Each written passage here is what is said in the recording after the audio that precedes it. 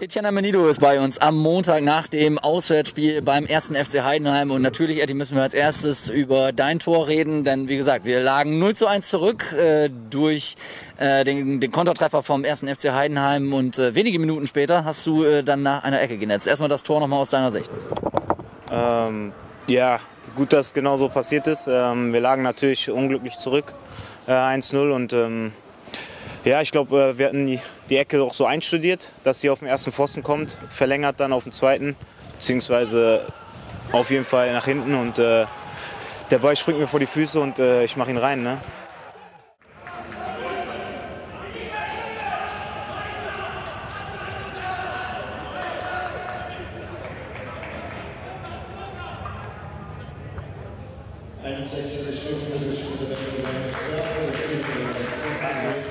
So sieht's aus. Kurz und knapp, so soll es sein. Ähm, du hast allgemein gestern äh, sehr wirklich engagiert gewirkt. Kann man sagen, dass äh, auch dein, ähm, deine Reise mit der Nationalmannschaft von Togo dir vielleicht so ein bisschen Auftrieb gegeben hat? Du warst ein ständiger Unruheherd gestern, aus meiner Sicht zumindest.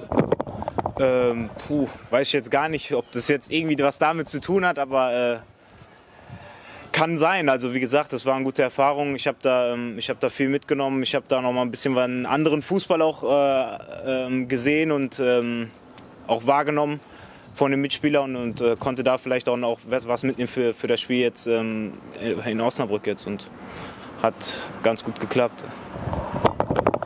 Äh, Maurice haben wir eben auch gefragt. Äh, ganz grundsätzlich, wie würdest du äh, euch als Mannschaft derzeit so in der Liga einordnen? Wir sind noch ungeschlagen, sechs Punkte auf dem Konto nach vier Spielen. Grundsätzlich ja eigentlich, äh, zumindest in Deutschland von außen betrachtet, erstmal eine recht gute Bilanz. Wie siehst du euch bisher aufgestellt? Ja, definitiv. Ähm, ist jetzt, glaube ich, noch der, äh, ja, ist immer noch am Anfang der Saison. Deswegen äh, kann man jetzt noch nicht so viel sagen, aber ich glaube, dass man uns äh, auf jeden Fall nicht unterschätzen sollte. Und ich glaube, was man vor der Saison so gelesen und gehört hat, dass äh, viele schon gesagt haben, dass wir jetzt nicht so oben mit dabei sind oder allgemein jetzt eine wichtige Rolle in der Liga spielen. Aber wir machen das für uns aus und äh, ich glaube, dass wir da auf jeden Fall einen guten Start hatten.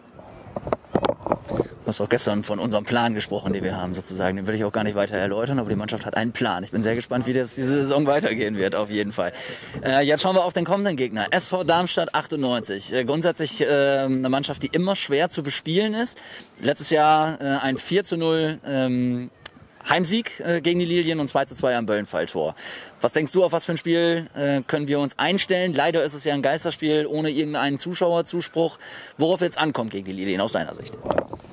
Äh, ja, erstmal leider, dass es ein Geisterspiel ist. Äh, ich glaube, mit Fans ist äh, definitiv immer besser und gerade bei uns macht das auch viel aus, aber ähm, davon brauchen wir uns jetzt nicht irgendwie äh, runterziehen lassen. Das ist jetzt halt so.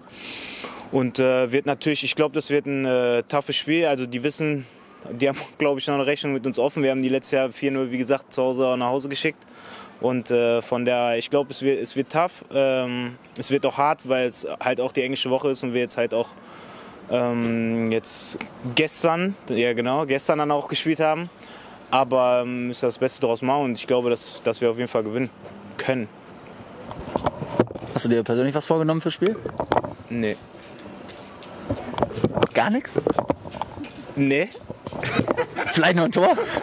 Also, ähm, äh, wäre schön.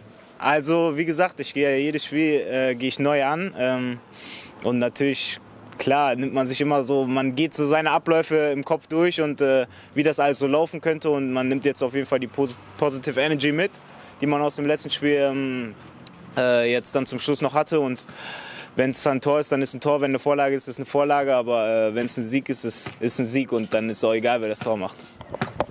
Etti, wir warten das Spiel natürlich ab. Vielen Dank für deine Zeit und gleich ein gutes Training. Danke.